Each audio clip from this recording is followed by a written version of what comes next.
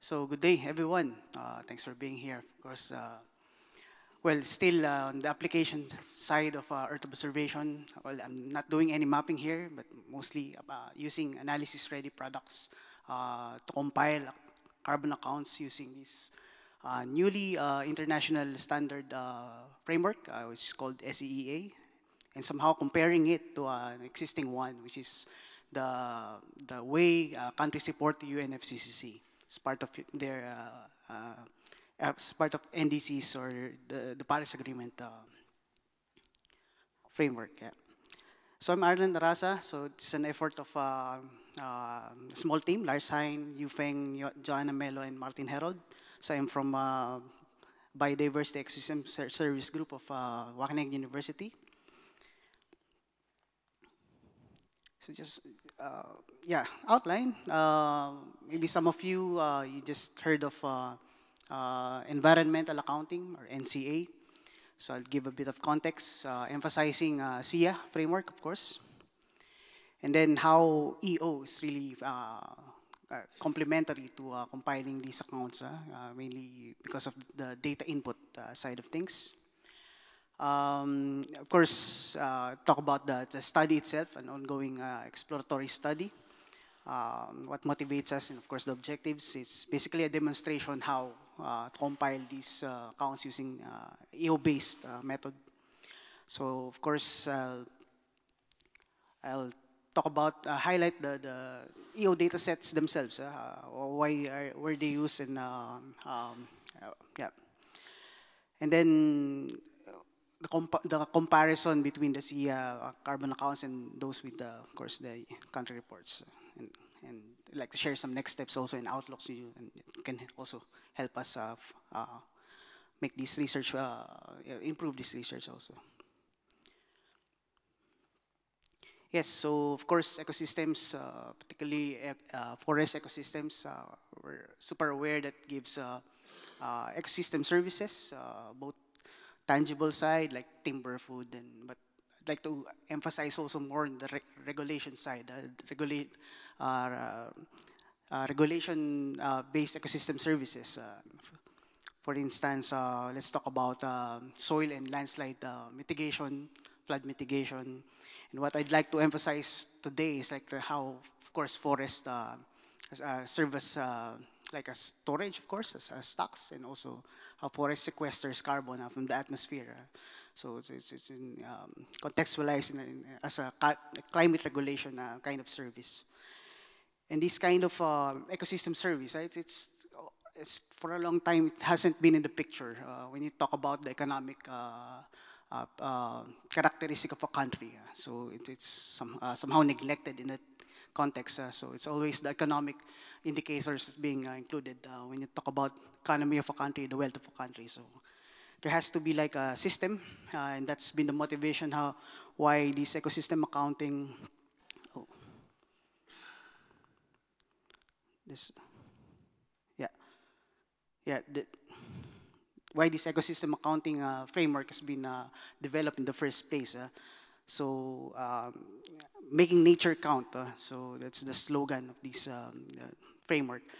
And it's basically uh, um, accounting for both the, the economic and environmental side of things, aligned with the mandated uh, systems of uh, national accounts of uh, countries. And the basis, the framework for doing so is, is, is the SEEA framework, so C- Systems for Environmental Economic Accounting by the United Nations. Uh, and just uh, recently, so it's been like, uh, it became an international standard. So it's like globally accepted methodology how to uh, do this kind of uh, uh, ecosystem accounting based on such framework. Oh. Sorry, I, yeah, I, I- just realized that this is an, an, an- outdated version of my presentation. But yeah, anyways, um, um, well, SEEA has been around for a decade already. Like there's been some some experimental. There's there was this experimental SEEA like uh, since 2012, and and uh, after that, countries uh, have been uh, piloting system accounting um, small scale, and also uh, some did it at national scale. And then it's basically, to sum it up, like uh, the main output of the of, of, of uh, uh, system accounting are basically two major accounts, uh, physical and monetary accounts. Uh. so you see the physical side and the, the, the green, sorry, the green, um, yeah, this part, of course, uh, where you need, well, you will need to know the extent of ecosystems uh, and also the condition because the service they provide uh, depends on the condition. And then in this case, uh, you need to uh, also quantify the, the service itself. Uh, well, in this, in this example, the sequestration part. Uh, so you need basically uh, maps of those, and and after compiling those, uh, having a, like a accounting table, the physical, you simply need to have a monetary valuation of that at uh, account to be able to uh, produce the monetary accounts basically. So, so it's basically a tandem of uh, like an ecologist, modeler, statistician, and also an economist. So.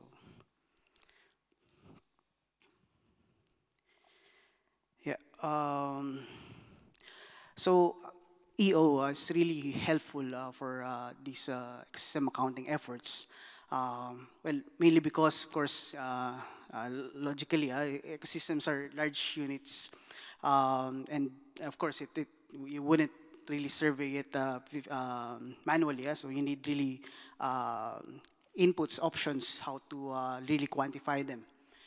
And of course, when you have like maps, you have also flexibility on how to, uh, what scale of uh, system accounting you're going to do. Typically, it's na nationwide scale, but there's also some uh, local scales, regional scales where, where you do it, like the catchment scale or at municipality level and so on. So um, give it some, some special uh, scale flexibility in that context. And then, of course, since uh, ecosystem accounts mainly uh, is inherently uh, spatial accounts, uh, so it's, mainly map dependent. Uh, um, and then, of course, these uh, EO products are not only useful for determining the extent, the condition, but also it serves uh, so as an input to a more uh, quantify more complex uh, system service like uh, water regulation, uh, what happens when you the forest is cut in the upstream, what happens to the downstream in a typhoon uh, event, so some something like that. And then, yes, as I, as I said, it's not really new, but now it's really the time to for countries also to do it because of the um, it's highly recommended at uh, the time when it was made uh, like an international standard. That's uh, two, three years ago. Um, yeah, and, and then also there's really a strong policy implication when you do this kind of system accounting. Uh, it's been like, before it's like, like uh, just an exercise, academic exercise, but now it's the, the focus now, it's really demand driven. So it should really uh, serve a purpose which is some, some policy formulation, uh, implementation options also. And then, of course, in the context of uh, Open Earth Monitor project, it's one of the, the, the applications, as you, can see, as you can see in the uh, highlighted. Uh, uh, yeah. Um, okay, so going to the study itself. So we were, of course, motivated by the fact that uh, there's been like increasing uh, EO analysis ready data, uh, biomass data, uh, of course, uh, soil organic carbon data sets, and so on. But uh, the actual the demonstration of how to actually use them in this system accounting is very rarely been done. Um, and then the accounting per, per se, the, the forest carbon accounting, I'm talking about the forest ecosystems here is mainly um, uh, the considering the above ground component only. So of course, there's below ground uh, where the roots, uh, and of course the soil organic component. So that should also be accounted to have like a more comprehensive uh, carbon accounts. And then you need to, of course, do some some comparisons uh, with similar carbon accounting. How can they be complemented? What could be the similarities and differences also? And we had a previous study also that uh, demonstrates how carbon changes over time, uh, carbon fluxes can be uh, spatially predicted using an ensemble uh, machine learning model.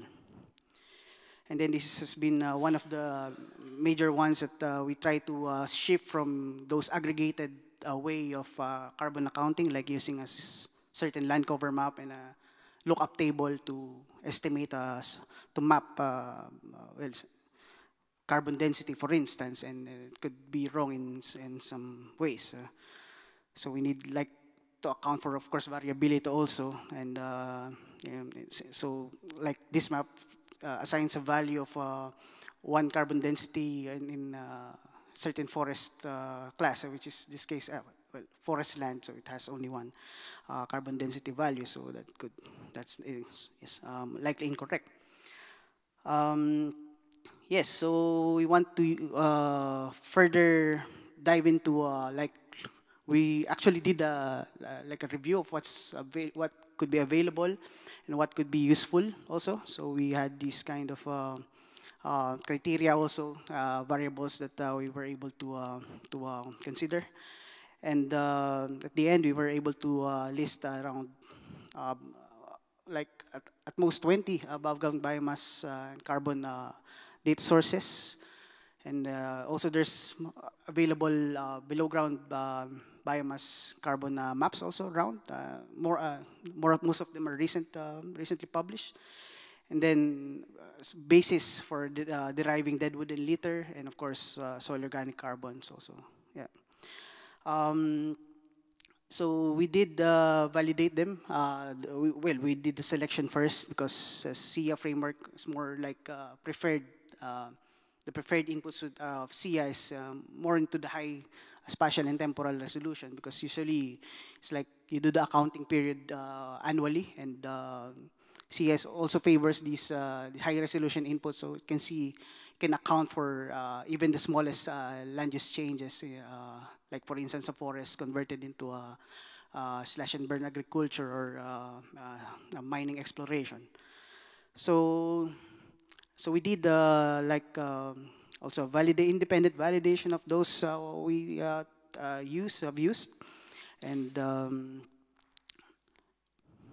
yes, so and uh, well, that also made us realize that, of course, in situ uh, data uh, for independent validation is very use, uh, important. And um, so our like our um, intention to use these EO datasets will be more meaningful. Uh, and that also, uh, would also like to highlight another effort of the of Open Earth Monitor, which is to have this kind of in situ data sets available publicly. And uh, in terms of the above ground biomass component, we're trying to uh, have a multi-resolution, multi-epoch uh, uh, data set that can be uh, uploaded on uh. Uh, it's almost there. We're, we're, just trying to finalize some things and it has a nice metadata also with quality flags so users have the information how to filter the dataset in terms of quality. Yeah. So uh, we ended up uh, demonstrating the this uh, carbon accounting for six countries, uh, mostly representing uh, all the continents except Australia. So we also uh, was able to use independent data sets, um, mainly using the CCI biomass and also well ISRIC dataset and um, the root biomass uh, by Huang et al. And also, of course, Hansen dataset and uh, forest management dataset also of, uh, of IIASA, the, the Lesiv et al. and also the land cover. Um, yeah, there's some, some consistency also in the inputs here. So both CCI products uh, been used. And we were able to derive annual, uh, annual uh, SOC changes by incorporating the forest loss pixels and applying some SOC uh, change rates depending on the conversion. Uh, say, for, for, instance, forest to grassland, forest to uh, agriculture. So we were able to derive root shoot ratios and apply it to the, to the above ground component. So, so we get a below ground component. We were able to map also the minor ones, deadwood and, and litter as a function of uh, precipitation and ecoregion as per IPCC. And then, of course, uh, use uh, the land cover CCI mainly because of the typology, the, the land cover classific classes uh, it, it, it, has. So, um, so there's like 28 classes available and we have flexibility to reclassify them according to SEEA typology. And then also distinguish between for management uh, and unmanaged land. So um, I really wish this been uh, the dated uh, slide, but uh, anyway, uh, um, yeah. So we did the reclassification. So we uh, were able to uh, derive these classes as basis for accounting, and then we were able to disaggregate also between deforestation and degradation. Um, so yeah, uh, since we have two periods of land cover and an, emission for a certain accounting period, like 2020, 2020, 2010 to 2020, for instance, so those emissions uh, in within that happened within the forest can be considered uh, degradation, and those emissions that happened uh, when there was con conversion, of course, obviously, it's deforestation. Uh, so, okay, so in this. So let me just reflect also on uh, the um, the results. Uh. So uh, what you see here is like the breakdown of the carbon pools. So uh, you can see immediately see some some regional uh, some uh, some country level variation among the proportion of the carbon pools. So so the more the more colder ones, temperate boreal regions, they have more dominance of the SOC and tropical ones otherwise. Um, be related to the composition, uh, colder because uh, uh, it's lower. And then it's also noticeable that the below ground component can be uh, relatively higher in the tropics. So yeah. Um, yeah, so what's more striking is that uh, when you account for seven years, so reasonable that you get a long bar, uh, but uh, afterwards, uh, annually, should have like a relatively uh, well, uh, shorter bar. But we see some interesting results here in Sweden, USA, and that should be, we should have a triple look on that. could be some some some uncertainty related result or, I mean, map related, input related result also. Um, yeah, so comparison with the UNFCCC, uh, so these carbon reports, uh, of course, uh, those who signed in the Paris Agreement should report also, Annex 1 and non-Annex 1 countries. And they're basically reporting with the, uh, information from uh, managed lands. Uh, so from uh, they're mostly using NFI as basis. Uh, so uh, and you know that NFI is well not not regularly updated and uh, it measures the fluxes only or the changes. Uh, so, so no reports about the stocks also. And then, um, yes, so the main dissimilarities is that the accounting, SEEA accounting framework uh, could report both stocks and flows, uh, fluxes. But note that they, they countries usually are, um, have their own official forests uh, area and, and EO-based data, you can have flexibilities also uh, in, in the forest mask used. Uh, so um, but yeah, the reporting for UNFCCC is aggregated at country level, and this uh, SEEA base can have like a system ecosystem level, and and you can also go from level one to level three uh, classes. So level three, of course, more disaggregated, like a broadleaf open canopy forest, uh, uh, coniferous closed canopy forest, up to that kind of level. Um, and then the definitions of uh, certain uh, pools. Uh, uh, so forest land, they, exclude, of course, organic soils, but includes mangroves. And then they include peat fires also in the in organic soils and the aggregation of these uh, land uses in the other land use. And then the fluxes from these uh, four uh, inputs go to the, the LULUCF FNet um, we were able to compare as uh, uh, our results to uh, the the UNFCCC's report. We mainly used the grass the gap-filled report by uh, Grassi et al., which is uh, did us a, lot, a big favor of compiling the the raw data from countries and uh, we simply did the conversion from make it comparable to carbon and, and also reclassification, reclassifying certain class in, from our side to make it uh, super comparable. Um, and then we for now, this is like uh, the first results, how, and I try to color code it just to uh, guide uh, whether it's like a net uh, emission or a net sequestration or removal. So I tried to just compare it for now based on uh, the signage, but I can also have a scatter plot later on. Uh, so it's basically, uh, there's some disagreement, of course, from the two um, mainly because of there's still a lot of inconsistencies and uh, differences in terms of uh, how things are defined, how forests are defined, managed lands are defined, and so on. Um, and also the data input plays a role. Uh, and uh, as I said, it's like NFI based mostly. This uh, the LULUCF reporting. Uh, it's a Earth observation as of now.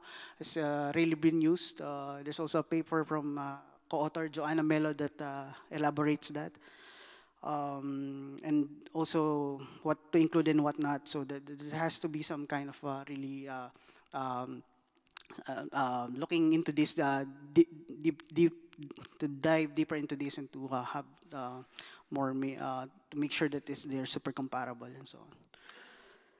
So yeah, oh, so I can say that EO is, has potential also for uh, being used to, uh, to SEEA carbon accounting. Um, and also, but and also not only to SEEA but also in UNFCCC uh, because as you notice, there's a lot of zeros in here, meaning no reports. So that's uh, something to uh, to uh, uh, resolve also somehow. And then it offers, E of course, offers uh, high spatial temporal resolution, which is SEEA loves. so. Um, and then, but I'd like to give a caution, of course, when you use EO data, you have to, to uh, do the good practices. Uh, you should be super uh, informed what, what input are you using. You should do your assignment and uh, assess it on your own and, do, and initiate uh, independent validation, for instance. And also careful when you derive uh, like st statistics like the carbon accounts themselves because it's mainly an aggregation uh, uh, step. So you need to account for uh, the pixels you're counting and the, the autocorrelation uh, when you aggregate especially the carbon fluxes. So yeah the updated bullet maybe I clicked the update but it maybe it didn't finish, but there was a last bullet that says uh, we also have like a uh, carbon accounting tool that's being also part of the Open Earth Monitor that, that uh, we're currently developing to uh, really uh, make this carbon accounting more uh, user-friendly. it's using RShiny, so yeah. maybe the next year I'll be able to present it. okay, so I'm over. Oh, so I'm over time. Uh, thank you for listening uh, uh, happy to discuss uh, things with you. Yeah.